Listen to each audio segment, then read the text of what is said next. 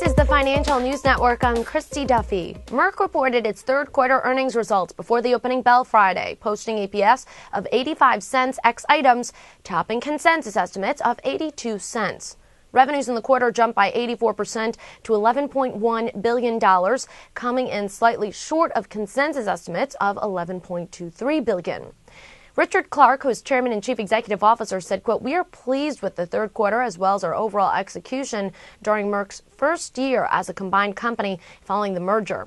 Our key products are performing well, and at the same time, we are launching new products, advancing a robust research and development pipeline, and achieving our important merger synergies. One year later, Merck is a much stronger, unified organization that is well positioned for the future.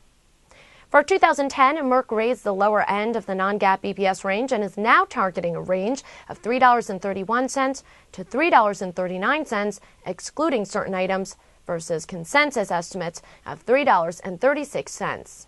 Merck said it expects full year 2010 revenue to be between 45.4 and 46.1 billion dollars versus consensus estimates of 45.58 billion dollars. For further updates, make sure to subscribe to our YouTube channel. This is the Financial News Network. I'm Christy Duffy.